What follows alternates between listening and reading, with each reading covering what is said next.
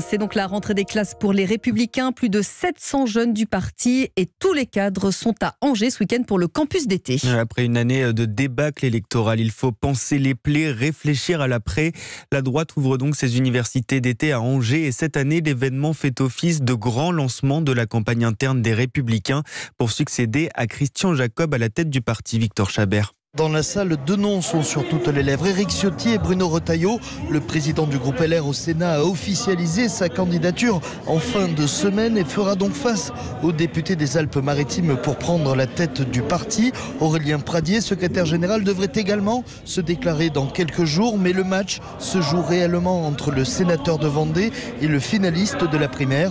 Alice, elle, a fait son choix. Ce sera Bruno Retailleau.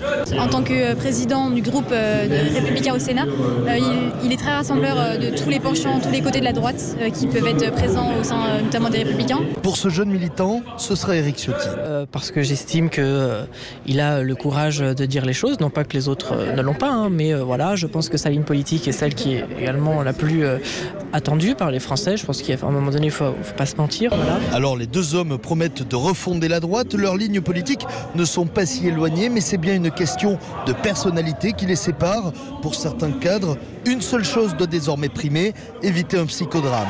Le reportage à Angers de Victor Chabert du service politique